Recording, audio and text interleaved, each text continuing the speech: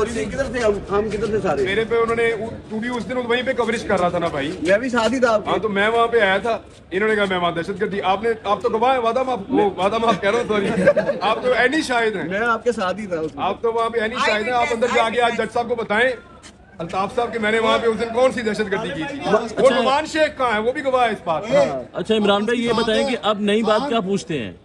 अब क्या तो कुछ भी नहीं पूछा। मैं तो जो लोग यहाँ से जिनके हवाले मुझे जज साहब ने किया था वो तो मुझे मिले ही नहीं वो तो आज मिले हैं मुझे ठीक है। एक पाँच दिन मेरी कोई तफ्तीश नहीं हुई मुझे सिर्फ़ एक जगह बंद कर दिया जाके बाद कोई तशद्दुद वगैरह? चोरी हुई थी वो भी पता कौन सी? वो जो अंदर से बोलते चोरी हुई। थी वो भी सहाफत आपने की थी ना जो जब चोरी हो रही थी अंदर दुमान पार्क में? देखिए मैं एक चीज़ आपसे अर्ज़ करूँ कि ये मुझे कोई तफ्तीश मेरी नहीं हुई। एक लफ्ज मेरे से किसी ने नहीं पूछा। सही कह रही थी। जिन लोगों के हवाले जज साहब ने मुझे किया था कि वो रिमांड के लिए मुझे लेकर जाना चाहते थे कुछ जानना चाहते थे। मुझे लगा कि शायद बड़े सवाल आते होंगे मेरे से मेरे से पूछा जाएगा। तो मैं अपने उनको सबूत दूँगा बताऊँगा कि जनाब मैं वहाँ पे क्यों गया था।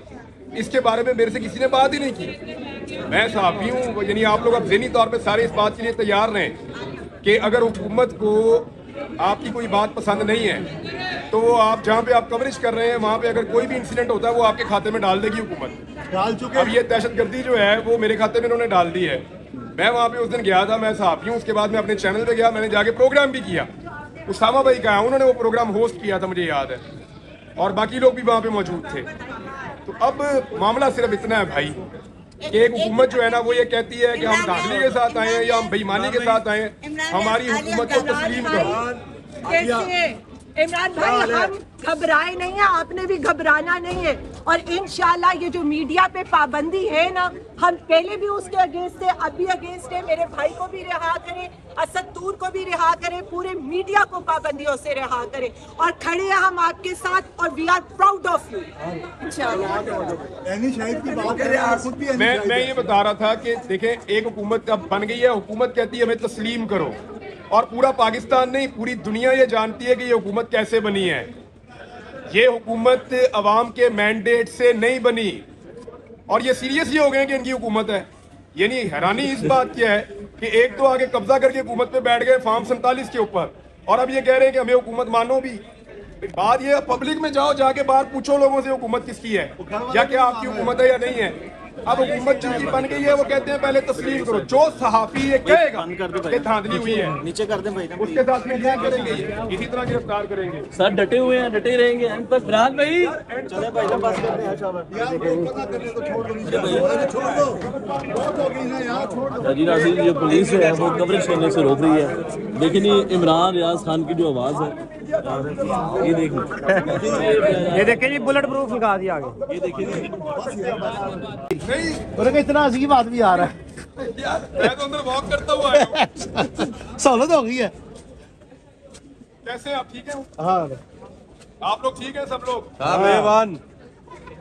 इमरान रियाज बेटे कह रहे हैं कि एक कह रहे हैं कि नौ महीने बाद इनके बच्चों की जमानत तो ये कि आपको मिलने के लिए आए दोनों।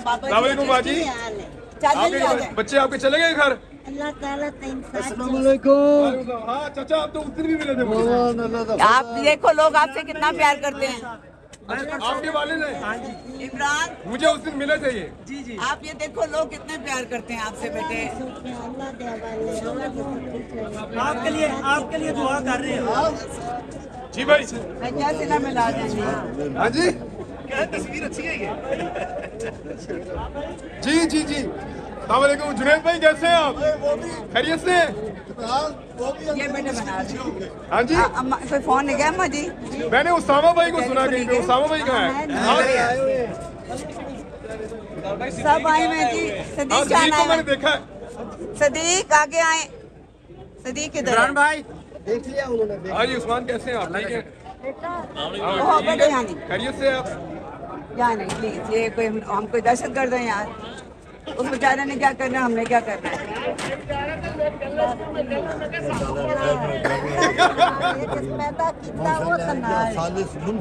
है अल्लाह हामिन जी अल्लाह हामिन चले खैर से जी घर जाके दुआ करें हम बहुत सारी इसके लिए। आज़म भाई को देखा था। आज़म भाई। अली कैसे हैं आप? ठीक हैं? से हैं आइए भाई। अपने रवायती स्वेटर में आप आ गए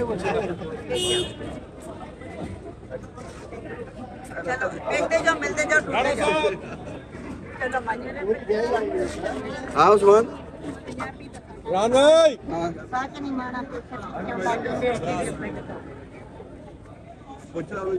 हूँ। आए मेरी और तफ्तीश हुई है ना। चले। ये सारों को देख लो अपनी टीम को। ये तो अरुण कैसे आप